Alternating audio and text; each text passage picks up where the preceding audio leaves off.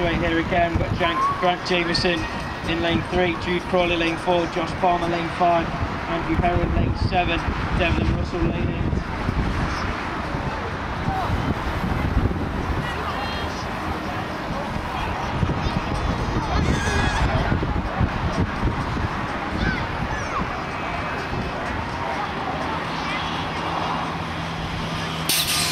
Gate down on this one.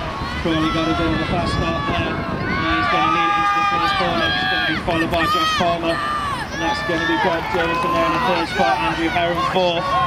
Devlin is in the fifth spot. Jude is leading this one out. Josh is trying to chase him down hard. Heron moves through it. Andrew moves through into the third spot there. Chasing the team down.